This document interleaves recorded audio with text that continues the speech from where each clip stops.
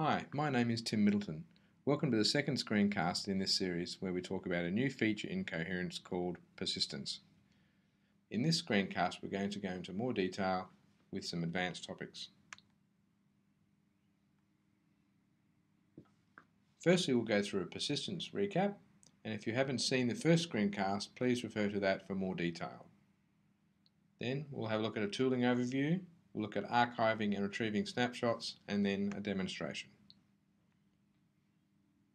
In 12.2.1, the new persistence feature provides durable storage of your cache data and associated metadata. This means that data will not be lost on scheduled or unexpected shutdown of a Coherence cluster.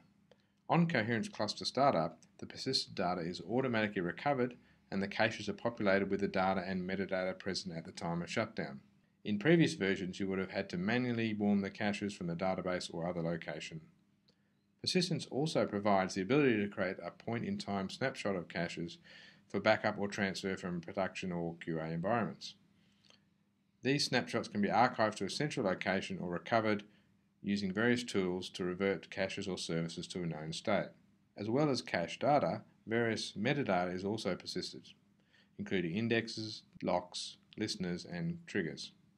A number of storage topologies are also available, including local storage and shared storage depending upon user requirements. The following set of tools are available to allow users to interact with the persistence features in 12.2.1. Using a standard JMX connection from any tool above, the persistence coordinator mbean primitive operations, which I'll explain on the next screen, can be issued against services. The Coherence JVisualVM plugin provides capabilities in the new Persistence tab for easily executing operations and monitoring persistence-related mbeans. CoQL, or the Coherence Query Language, provides commands for issuing all the snapshot operations and can be scripted for ease of use or batch operations. There's also support for issuing commands via WLST when using Coherence in a managed environment such as WebLogic Server. The storage senior for a partition service or federated service will register the following mbean to allow for persistence operations to be executed. So the type is persistence and the service is part of the key and the responsibility is a persistence coordinator. Once this is registered, the following operations are available on this mbean.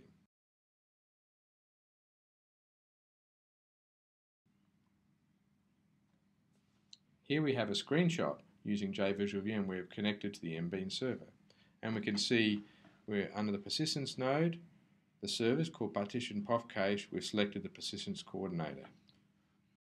And we can see the operations that can be executed. As mentioned, we can also use the JVisualVM plugin, which provides a right-click option on the Persistence tab to issue the operations. CoQL is a tool to interact with Coherence clusters, and we've added additional functionality to interact with the coherence persistence feature. So, for example, we can create snapshot, recover snapshots, validate snapshots to make sure they're recoverable, and so on. I'll go through these in a bit more detail during the demonstration. WLST can also be used to issue persistence commands. You must be in the domain runtime mbean tree for these commands to succeed.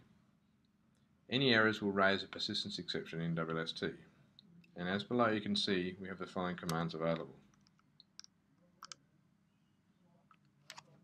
Snapshots can be created on local disk and as such can be distributed across many servers.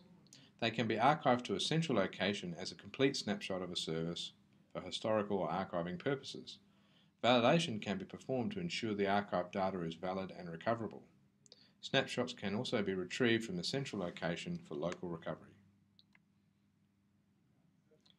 Now we'll have a demonstration where I'll issue some archive and retrieval snapshot commands. I'll then use CoQL to issue persistence commands and then we'll look at operations within a WebLogic server environment. Firstly what we're going to do is start up a couple of cache servers using the minus JMX option which allows us to interact with the mbean server and run the operations. So I'll start them and then I'll run the query.shell which is the out-of-the-box script for running CoQL. So within CoQL, I can issue the commands command, and that gives us a list of commands that are available. And we can see we've got new commands here, which allow us to interact with the persistence features.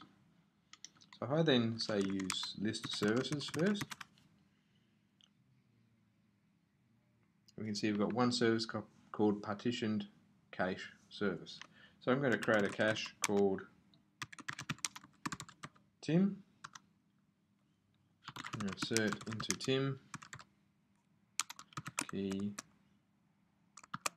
one value one. Select star from Tim.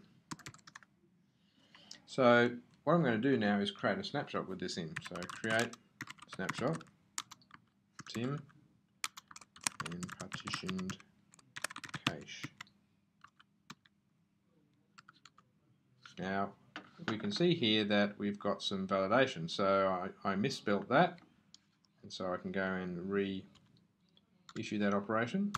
And you notice when you're running interactively, it asks you for confirmation when doing create, recover, and retrieve snapshots. When you're running in batch mode, it will automatically answer yes to those.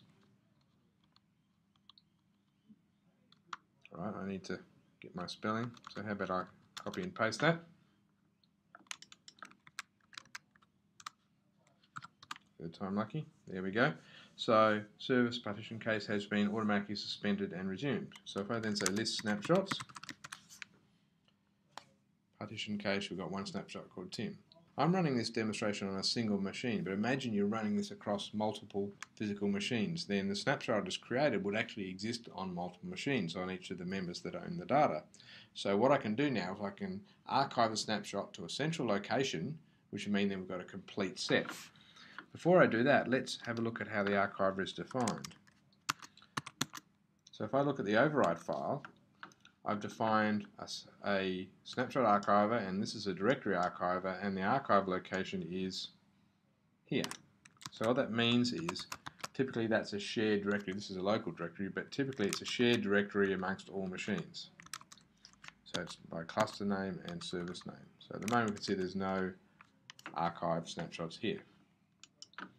So if I then said archive snapshot Tim for partitioned cache. I want to confirm that. So what it's doing is it's now archiving that. So imagine it's over phys separate physical machines. All those machines will issue those operations in parallel, so it's very efficient. I then said list archived snapshots, we can see now an archive snapshot called Tim. If we now go to the physical directory, we can see there's a directory called Tim, and if you look in there, there's the data there. So you don't have to worry about the format of the data, but basically it's in a binary format which can be recovered. So once I've archived that, before I say remove the local snapshot, I want to validate that. So I can say validate archive snapshot, and you can actually validate a local snapshot as well. And I can specify a verbose option. And what that verbose option does is actually displays detailed information about the contents of the archive snapshot. And while this is doing it, it's actually bringing the snapshot partitions back and ensuring it could be recovered. And the verbose option then gives us the information. So it says how many partitions, what is its name and the service, etc. Some implementation details. Plus it also gives you information about what are the caches are stored within here as well. This then means that this is a snapshot that can be retrieved and is valid. So I can then remove lo the local snapshot. So I've got a local snapshot and I've archived it to a central location. Now if I say list snapshots, which is local snapshots, there's none there now. So if I then said delete from Tim, which is my cache, and then select count from Tim. Now what I want to do is retrieve the archive snapshot to the local members and then recover it. So I go say retrieve archive snapshot. Are we sure? Yes. So now that retrieves it from the central location and distributes to all the members. So in this case we've only got one machine, but if there was 10 machines, we'll distribute it evenly across all those members. Then if I these are list snapshots,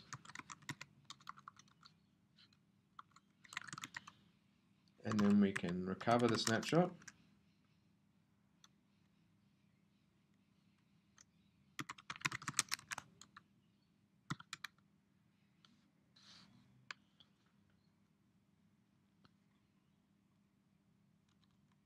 We have a look, we can see select. Now we've got one record which includes that snapshot.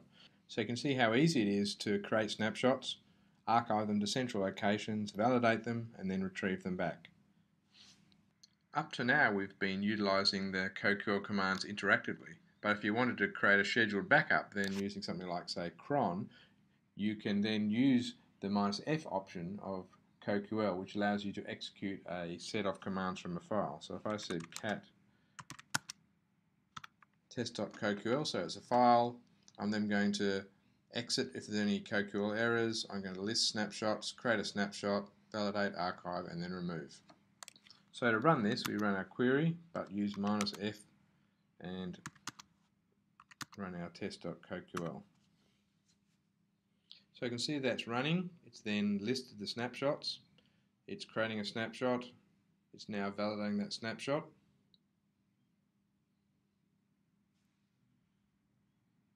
Showing the information.